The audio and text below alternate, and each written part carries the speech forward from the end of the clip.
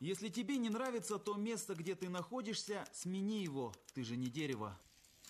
Джим Рон. В январе 1964 года в Москве умирает видный казахский ученый, академик Каныш Сатпаев.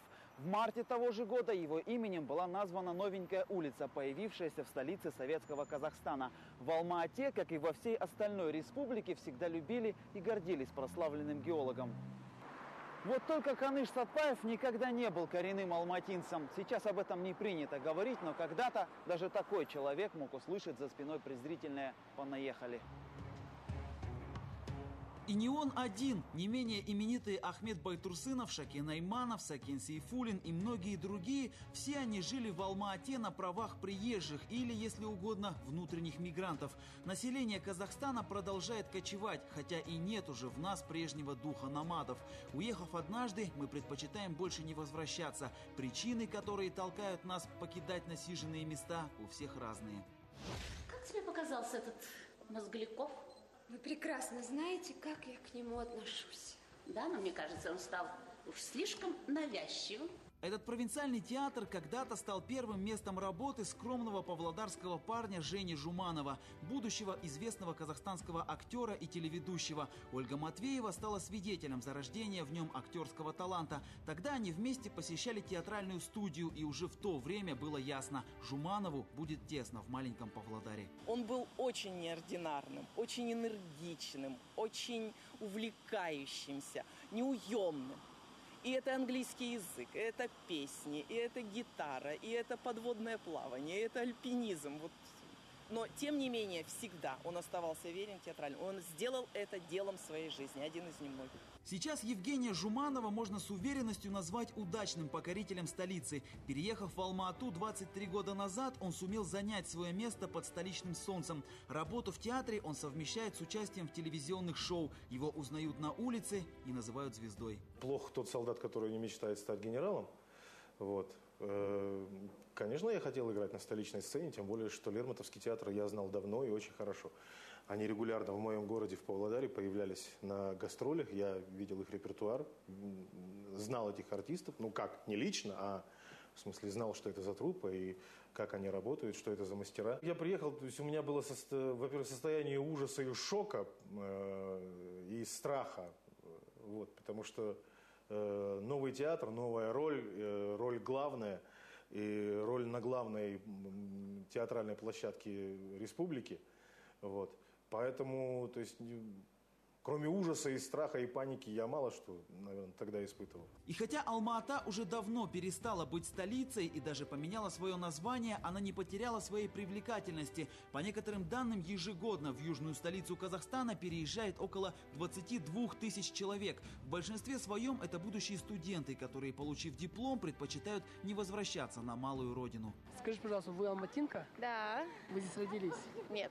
А Я уже здесь давно-давно живу. Я вообще сама стараюсь сразу. Ты алматинец? Да. Ты здесь родился? М? Ты здесь родился? Нет.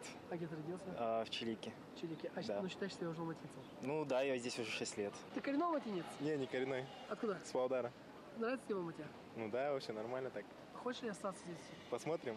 Как а... судьба, судьба вообще все свяжет там. Нет, я на Семипалатинск. Семипалатинска? Да. А живете сейчас в Алмате? Да. Правда, далеко не все едут в Алматы, чтобы утолить амбиции. Некоторые просто вынуждены приезжать в большие города. И чем больше город, тем сильнее он притягивает к себе приезжих. Социолог Светлана Куница уже несколько лет изучает миграционные процессы внутри Казахстана. Говорит, в последнее время люди все чаще стали бросать свои дома от безысходности. Согласно опросам, 50% э, мигрантов переезжают именно из-за отсутствия работы у них ну, вот в тех населенных пунктах, где они проживали. Еще 25 по личным обстоятельствам, это, допустим, замужество, переселение там, к детям, к своим детям выросшим. 20% из-за того, что была низкая зарплата. То есть вот эти вот три ведущие причины, они являются тем основанием, почему люди едут. Это место среди алматинцев именуется не иначе, как Хул-базар, рынок рабов. Здесь всегда можно найти дешевую рабочую силу. Здешние обитатели непривередливы, чаще всего малограмотны и берутся почти за любое дело, лишь бы платили. Кстати, платят не всегда. Юридические договоры с такими наемниками обычно не составляют, но они готовы терпеть, потому что выбора у них иного нет. Я приехал с юга. Дома работы нет. Вот, пришлось в Алматы приехать. У меня двое детей. Их нужно кормить. Деваться некуда. Не просто все. Здесь дорого очень. Квартиру приходится снимать. Вот и стоим здесь с 7 утра до позднего вечера.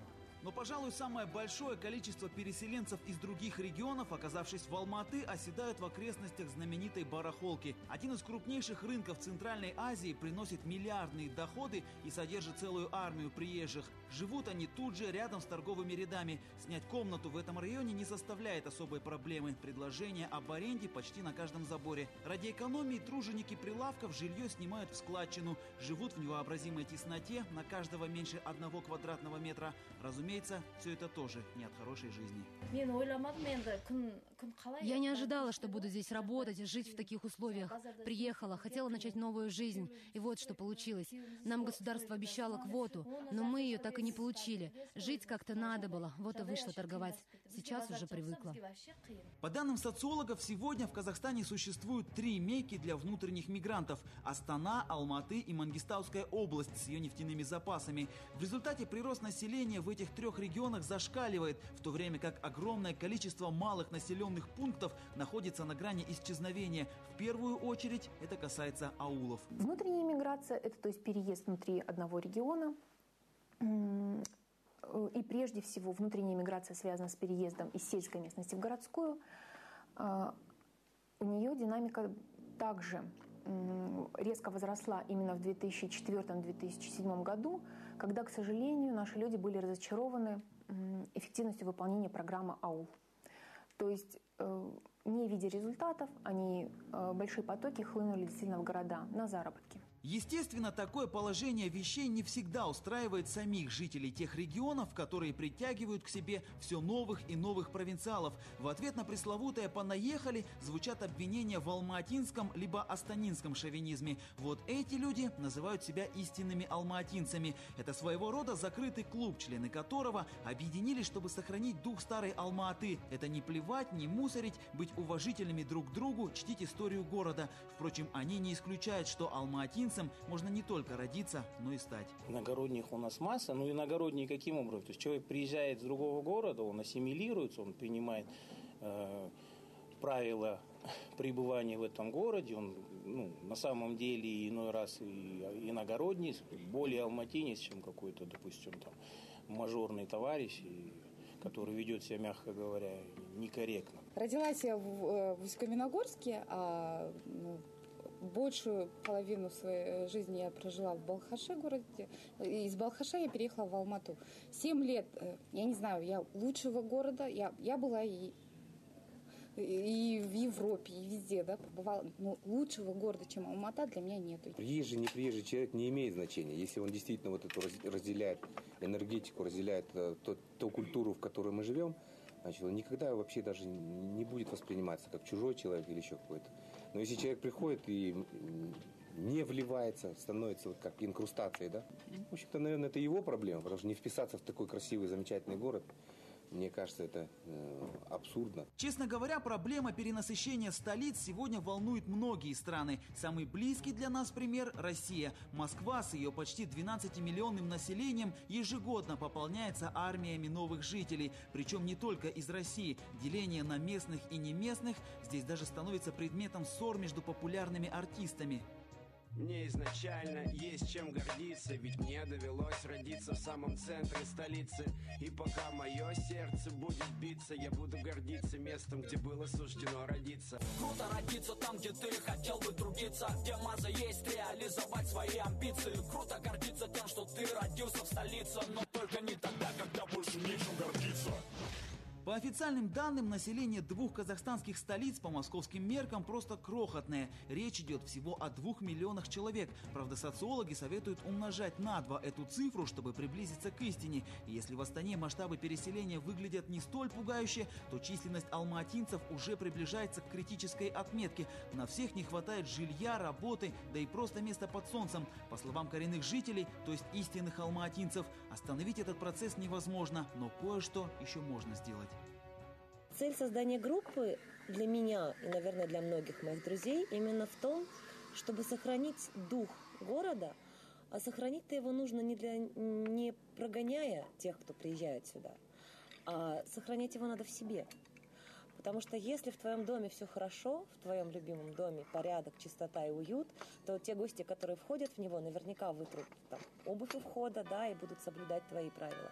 Если же ты сам не можешь навести порядок там, где ты живешь, то почему этот порядок должны соблюдать те, кто, пришли, кто пришел к тебе в гости?